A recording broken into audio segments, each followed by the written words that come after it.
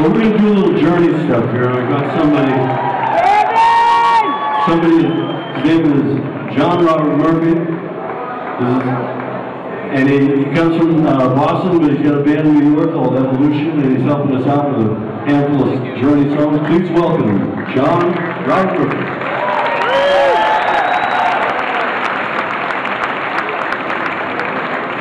Uh, thank you so much.